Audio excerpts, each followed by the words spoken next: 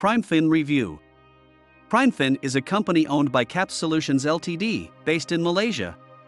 The broker claims to be regulated by Labuan Financial Service Authority, LFSA.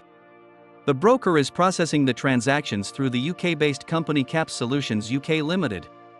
The company in the UK and Malaysia are incorporated in 2020.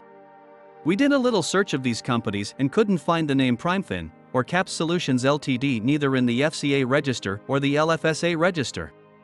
Seems that PrimeFin regulation doesn't exist. Red flag on the very start. Also, even though the company says funds are processed through the UK, there are no indications where the funds are held and are they segregated from the company's funds. Scammed by a PrimeFin broker? If you have lost money with a PrimeFin broker, don't panic. You are not the first and you likely won't be the last. Mistakes can happen even with the most cautious of investors and should be used as a learning opportunity.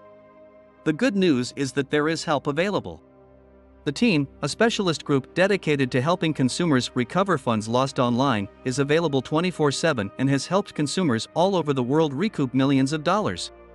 After filling out the form above and validating your eligibility for their programs, company will help you build a solid case to regain your funds as soon as possible. Book a free consultation and get step-by-step instructions.